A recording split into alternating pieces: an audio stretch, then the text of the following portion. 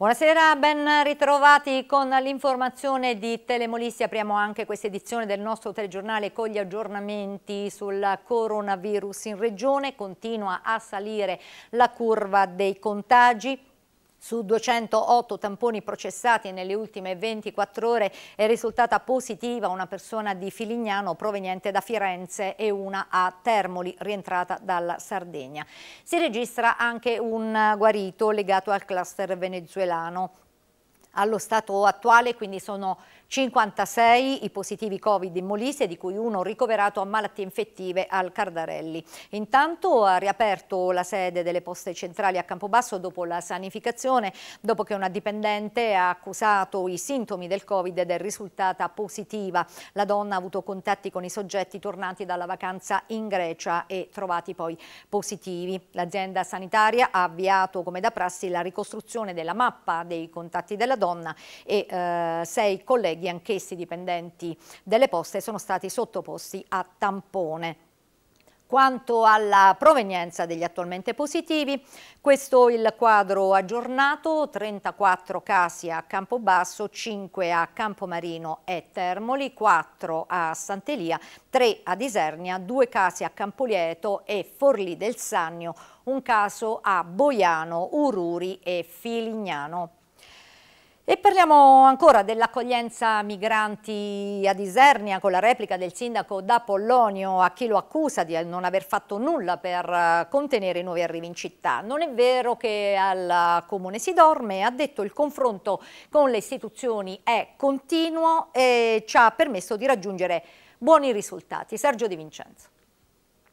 Il comune di Sernia non dorme affatto, ha seguito e continua a seguire con la massima attenzione la gestione dell'accoglienza dei migranti attraverso rapporti costanti con i vertici della regione e con le prefetture.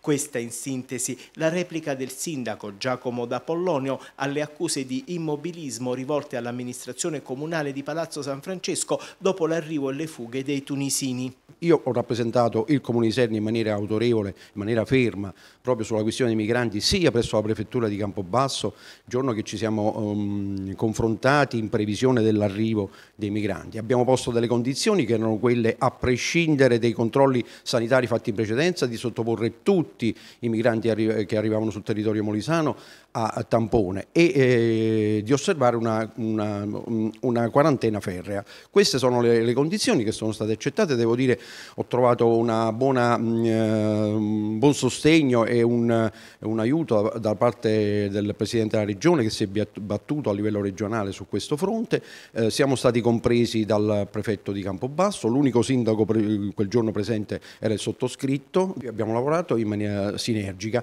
lo abbiamo fatto con confronti quasi quotidiani con tavoli tecnici, con tavoli con comitati presso la prefettura di Senia, con il prefetto di Senia con il quale c'è un ottimissimo rapporto istituzionale. E farò sempre il mio dovere, quindi qui non si dorme come eh, vuole far apparire ai cittadini qualcuno. Da Pollonio si è poi soffermato sul mancato via libera all'approvazione dello SPRAR da parte del comune di Sernia. L'adesione al progetto avrebbe permesso di limitare il numero di arrivi in città, tra l'altro senza dover ricorrere alle gestioni da parte dei privati, ma la proposta del primo cittadino fu bocciata, come noto, dal Consiglio Comunale quelli che si lamentano oggi chiaramente adesso fanno la voce grossa e hanno bocciato questo tipo di, di situazione, mm, noi ci siamo fermati, io ho rimesso, eh, mi sono rimesso al, al, volere del Consiglio Comunale e dei consiglieri che rappresentano eh, i cittadini e quindi adesso stiamo andando avanti su questa strada. Eh,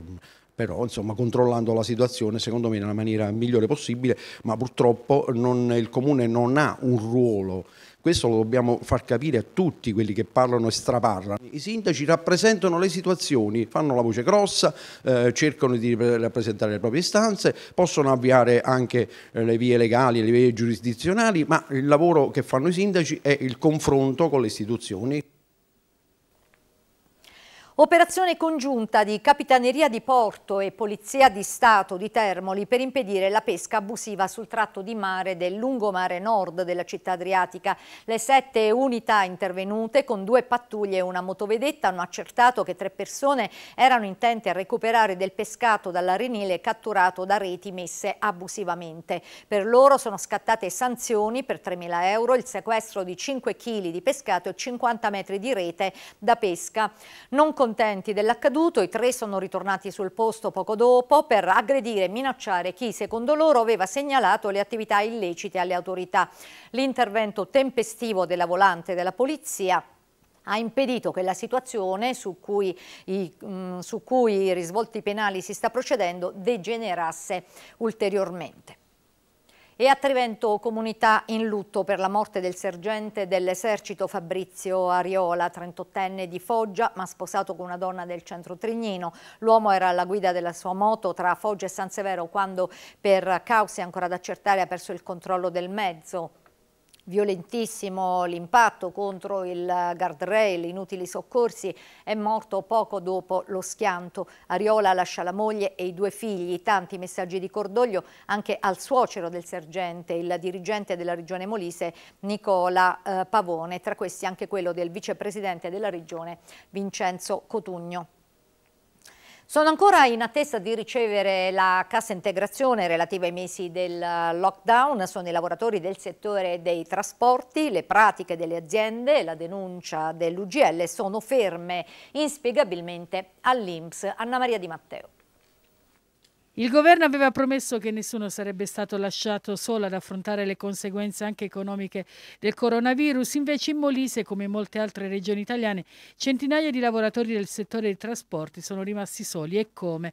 Perché da quando è iniziata la pandemia sono ancora in attesa di ricevere la cassa integrazione, malgrado l'approvazione da parte del fondo bilaterale, le pratiche presentate da alcune aziende sono ferme all'Inps. La denuncia è dell'UGL Molise che sollecita interventi urgenti per venire incontro incontro a centinaia di famiglie molisane. Il fondo bilaterale dove tutti eh, diciamo, gli autoferrotranvieri italiani contribuiamo con nostra quota mensile, quindi accantoniamo eh, dei soldi. Era stato costituito per altre esigenze, però in queste esigenze sanitarie avevamo 80 milioni di euro, quindi abbastanza per coprire tutte le esigenze di tutte le aziende italiane tranne eh, c'è stato un piccolo intervento da parte dello Stato, se non sbaglio di 300 mila euro, per coprire tutta la cassa integrazione.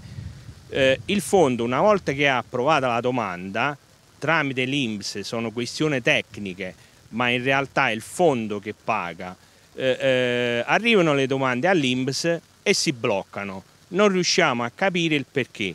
Loro ci dicono che le aziende ancora non trasmettono il modulo, il famoso modulo SR41, ma se l'INPS non trasmette co un codice alle aziende, le aziende non se lo possono inventare e quindi non, eh, i lavoratori non percepiscono eh, la cassa integrazione. Ci sono alcuni lavoratori che hanno, hanno lavorato zero ore, quindi tre mesi senza lavoro e senza un sostegno. Questo è gravissimo e noi ancora oggi il settore autoferrotranviere ma anche altri settori perché io parlo da segretario regionale eh, ancora non percepiscono eh, nessun tipo di reddito. A tutt'oggi io non ho avuto un riscontro ufficiale per iscritto, ho interessato anche il segretario di categoria che ha fatto anche lui una nota all'Inps centrale perché è un'anomalia soltanto e esclusivamente molisana. Quindi per me, perdonatemi, poi eh, vediamo che i politici non trovano nessun cavillo, nessun riscontro, nessun controllo e gli viene erogato il bonus, nonostante che percepiscono uno stipendio molto eh, abbondante, diciamo così, per non offendere nessuno.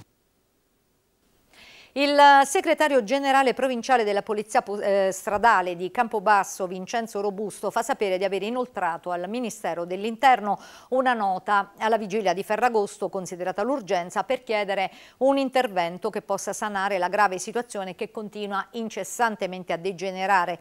Nello specifico Robusto chiede che venga assegnato un congruo numero di personale giovane alla Stradale di Campobasso e al distaccamento di Termoli, considerato che dal recente piano di ripartizione del personale reso noto da Roma risulta ancora una volta, così come negli ultimi cinque anni, che non è stata prevista alcuna prossima assegnazione.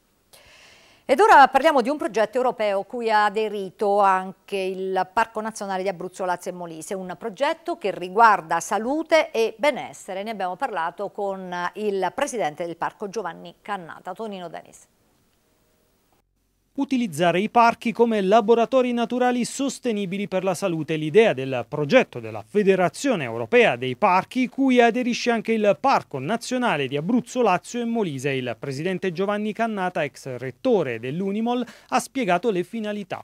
È un progetto che tende a far sì che eh, si parli e si studino le condizioni della salute eh, che vedono appunto il, i parchi come laboratori dello sviluppo sostenibile e della salute, tenuto conto, ne cito solo qualcuno, delle potenzialità che un parco può offrire.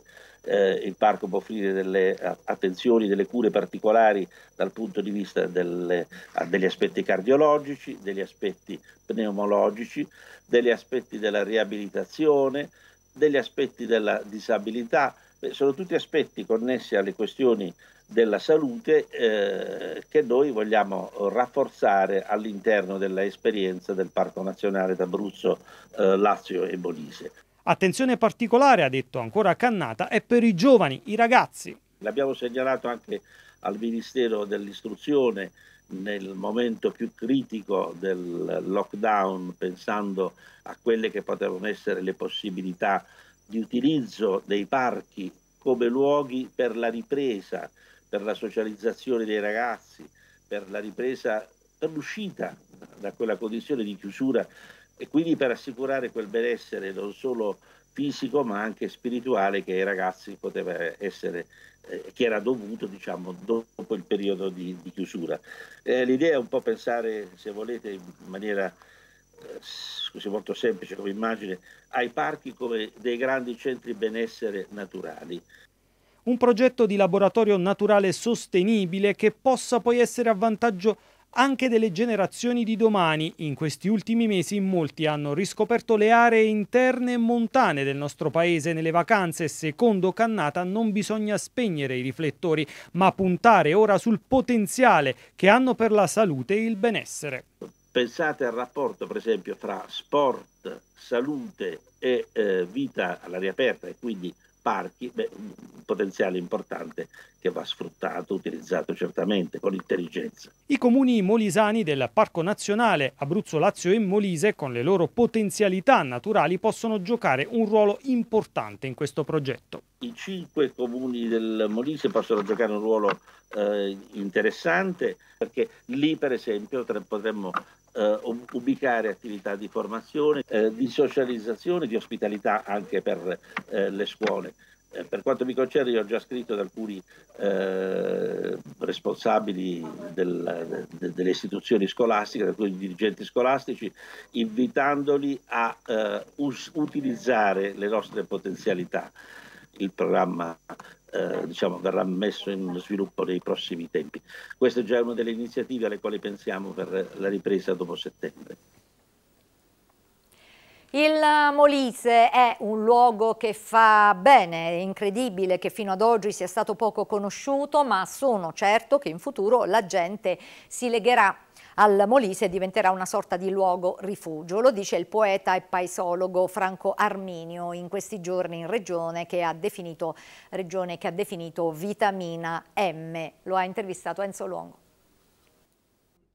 Franco Arminio, in un'estate piena di incontri, pienissima di incontri per te, qualche giorno in Molise è una regione che ami in modo particolare, tant'è che hai fatto la definizione diventata famosissima, vitamina M, perché?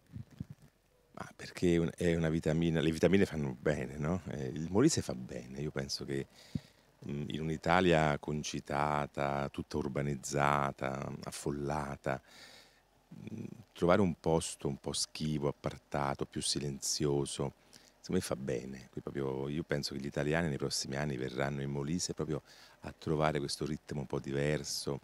E poi questi paesi sono delle perle. In realtà è quasi incredibile che in, negli anni passati il Molise sia stato così diciamo misconosciuto, no? però alla fine va bene, cioè, c'è, c'è proprio bisogno di luoghi poco visti, poco battuti, poco attraversati, quindi secondo me il Molise è la terra del futuro. Serviva il Covid, secondo te, per far riscoprire piccoli luoghi, visto che quest'anno nei paesi molisani c'è più gente, insomma, è evidente. Beh, intanto perché molti andavano all'estero per questa idea di dove vai, vado, no? E quindi ovviamente la, la, il fatto di dover restare in Italia ha favorito, anche le città d'arte sono un po' in questo momento non, non tanto diciamo così buone da, da, vedere, sono un po' pericolose, cioè, c'è affollamento. Il Molise offre un distanziamento naturale appunto, quindi però eh, la, la sorpresa qual è? Che poi uno arriva e vede no ma questo è un posto bello e quindi secondo me ci sarà proprio un processo di... la gente si legherà al Molise, diventerà una sorta di, di seconda residenza. Io sono, sto in Romagna ma sto anche in Molise, sto in Lombardia ma sto anche in Molise. Dovrebbe essere una sorta di doppia residenza. Noi siamo italiani e molisani, potremmo lanciare quest'idea, no? che il Molise è un po' il vostro rifugio. Nei tuoi incontri tantissima gente, il tuo libro è primo in classifica tra libri di poesie, te lo aspettavi, è un bel successo. I libri è sempre un problema in Italia, non è che è una nazione che, che in cui si, si, legge tantissimo. Sono contento soprattutto del, dell'adesione, del, del, dell'entusiasmo delle persone che mi portano il libro dicendomi che gli fa del bene. Al di là delle vendite questo conta, conta la risonanza che produce un, un testo, quindi sono contento e questo mi dà la spinta ad andare avanti a oltranza. Un'ultima cosa, visto che siamo a San Giovanni in Galdo, che insomma ha inventato questa, cioè questa idea delle, delle, case riaperte per ospitare turisti, è una buona idea secondo te? Assolutamente sì, io ne avevo parlato a vari sindaci e direi che si può, si può ampliare in varie direzioni. Una, se mi permettete, una ulteriore diciamo così, idea potrebbe essere quella di ehm, regalare simbolicamente una casa a dei personaggi diciamo, illustri, mandargli una lettera con delle chiavi, hai una casa a San Giovanni e magari quello viene un noto Renzo Piano, Benigni, magari viene una volta all'anno, però sa che ha una casa a San Giovanni, quindi diventa una sorta di cittadino aggiunto. Ecco, bisogna aprirsi all'impensato, voi siete sulla buona San Giovanni è sulla buona strada. Secondo me si tratta di continuare, non è svendere il paese, ma in realtà è donare il paese a delle persone che a loro volta doneranno non solo mh, appunto la loro diciamo così, economia, ma doneranno loro, il loro sguardo al luogo. I paesi bisogna arieggiarli, aprirli, voi lo state aprendo, mi sembra fondamentale questo. E il giornalista Domenico Iannacone ha inaugurato la decima edizione della Festa del Morruto a San Giovanni in Galdo, una serata emozionante nel rispetto delle normative anti-Covid in cui ha raccontato le storie delle sue inchieste ma anche il suo Molise e la sua Torella. Sentiamo. Le storie che racconta vengono fuori pacatamente, senza contaminazioni, solo dalle risposte dei protagonisti, dai silenzi, dagli sguardi, dalle immagini e arrivano dritte al cuore. Domenico Iannacone fa giornalismo sociale puro, senza mai voler essere protagonista, entrando nelle storie, vivendole e facendole emergere con arte maieutica quasi, nel rispetto di chi ha di fronte e senza sconti per l'ingiustizia. A San Giovanni in Galdo, nella serata inaugurale della decima festa del Morrutto, si è raccontato e ha raccontato il suo lavoro attraverso pezzi delle sue trasmissioni in un dialogo con il giornalista Enzo Luongo e direttamente con il pubblico, distanziato e con mascherina. Ha raccontato il suo Molise e la sua Torella, quel piccolo che ci caratterizza ma che in realtà è grande, è patrimonio immenso, unico di comunità, condivisione. Molise che accoglie, che fa sentire l'ospite a casa, riscoperto dai turisti anche grazie a progetti come quello di San Giovanni in Galdo che ha messo a disposizione case gratis per far scoprire questa terra. Un'idea che dovrebbe essere adottata da tutti i comuni molisani per bando regionale, ha detto Iannacone. Ogni pezzo di questo paese può diventare una vetrina. Perciò vi dico che bisogna mettere in, in relazione queste cose. Io l'ho detto a Stefano, al presidente della, dell'associazione, io voglio che tu partecipi e, e venga a proporre questa cosa anche nel mio paese, ma anche negli altri paesi. Cioè qui non bisogna essere gelosi. Il meccanismo della gelosia, del campanilismo, qui non deve esistere. Cioè qui si vince o si perde insieme. La forza di un'intera regione. Magari non ci saranno più case, tante case qui per accogliere eh, i turisti. Bene, si, si dirottano. Stefano mi diceva una cosa bella. Noi dobbiamo fare in modo che non ci si chiuda Noi, le persone che vengono qui, e credo che me lo potranno testimoniare in qualunque momento, sono spinte a visitare gli altri luoghi, le immagini della Terra dei Fuochi, forti come monito, tutto quello uccide e da noi non deve mai accadere, ha sottolineato il giornalista. Momenti di riflessione e commozione, come la storia del tassista milanese che stava per perdere la casa ma un gesto di rara solidarietà umana l'ha salvato, grazie all'inchiesta di Iannacone. Poi Napoli con le sue storie spesso inverosimili come quella di un insolito e divertente set fotografico di una coppia in procinto di sposarsi, la durezza muta delle immagini dei vestiti di Pasolini che indossava quando fu ucciso, la delicatezza profonda di Ezio Bosso, le condizioni estreme degli immigrati di colore a Rosarno e la bontà di un autista a cui la vita non ha risparmiato dolori. Il finale commovente con la storia di Pierpaolo, uomo con la sindrome di Down, che ha assistito la madre anziana con l'Alzheimer a Campobasso. Storie che lasciano il segno. Che ci faccio qui? La risposta, forse, sta nell'insegnamento che si può trarre da esse, quel recupero di un'umanità da molti persa. E si chiude con successo l'iniziativa Scontagiamoci, iniziativa di solidarietà nata dal desiderio di un imprenditore, un professionista, amici e sostenitori del gruppo di volontariato e protezione civile dell'Associazione Nazionale della Polizia di Stato, sezione di Campobasso.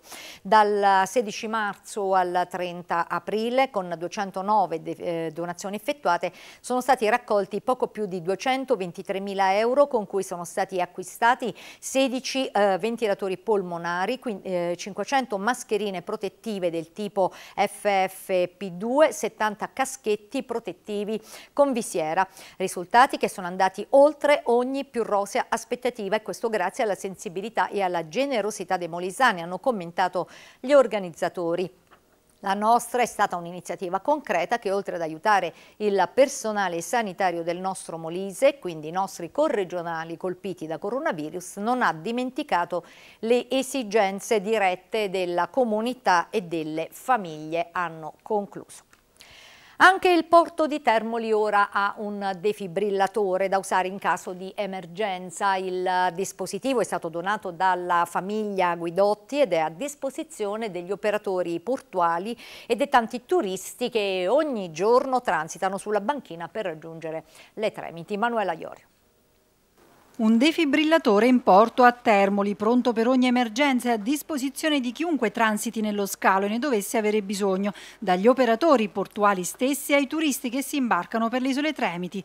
Il prezioso dispositivo è stato donato dalla GS Travel della famiglia Guidotti che con il suo catamarano Zenit collega giornalmente il Molise alle Diomedee e dal prossimo settembre tornerà a viaggiare verso la Croazia.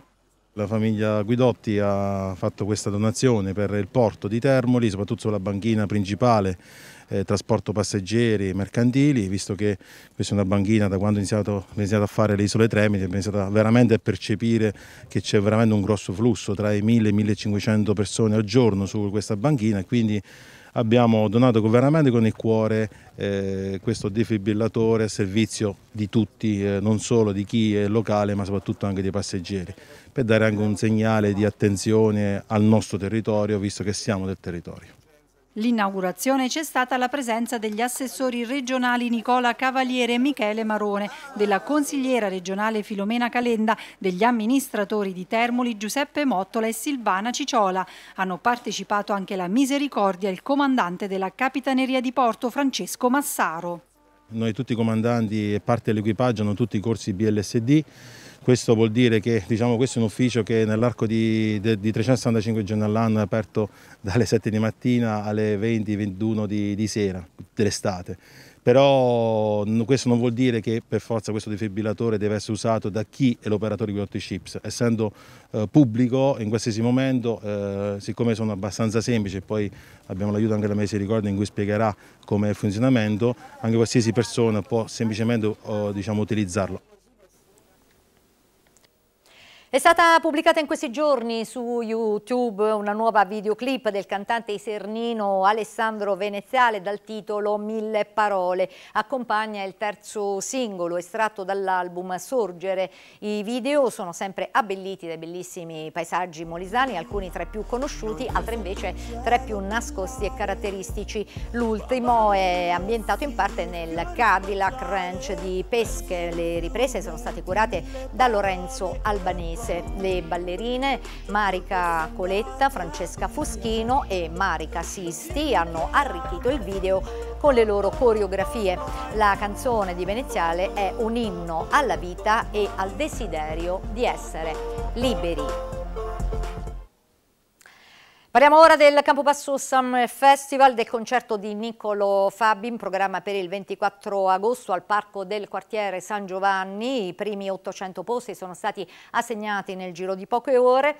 Eh, domani, venerdì 21 agosto, a partire dalle 10 saranno disponibili altri eh, 200 posti. La prenotazione sempre attraverso l'app Quanti siamo? E domani sera ultimo appuntamento per la rassegna di cinema al corso a Campobasso alle 21 in Piazza della Vittoria dell'ultimo film in programma ovvero Le Mons 66, La grande sfida, pellicola del 2019 del regista James Mangold. La proiezione è gratuita ma c'è l'obbligo di prenotazione. Al Castello Monforte sempre alle 21 nuovo appuntamento serale con gli amici della musica e con musica in città. Vittorio Sabelli Martelli, clarinetto e Marco Molino, marimba, presenteranno al pubblico Ciorando Brasil. E con questa notizia concludiamo il nostro telegiornale. Grazie per l'attenzione a tutti voi. Una cordiale buonanotte.